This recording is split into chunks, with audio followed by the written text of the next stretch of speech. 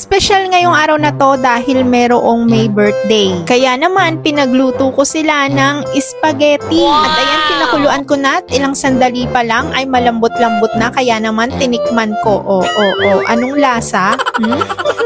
Parang luto naman na siya. Tinanggal ko na yung pasta at nilagay ko na ngayon sa lalagyan at susunod naman ay gagawin ko na yung sauce.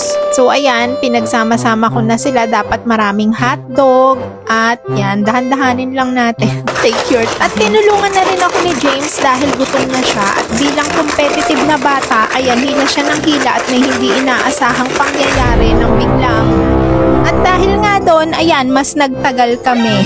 Kaya ako, eto, manual-manual na lang ang paghihiwa hanggang sa nagtagumpay din naman at natapos ko ng lahat hiwain. Kaya na nga, nag-start na akong magisa at medyo natatakot si ate nyo sa mantika na nagtatalisikan. Ayan, pinaghalo-halo ko na silang lahat hanggang sa minekos-mekos ko na para magsama-sama na sila. At syempre, hindi mawawala yung pake. At ayan na nga, inilabas na namin ang may birthday walang iba kundi ang aming French Bulldog na si Pau Pau at si Bleach. First birthday nila ngayon at nagkataon naman na 2 days lang naman ang pagitan nila kaya pinag-isa na namin. At ayan sila, masayang masaya at damang-dama nila ang party-party. At sa sobrang kasiyahan ay pinaghahalikan nila ako. Ayan, kitang-kita naman na happy-happy sila.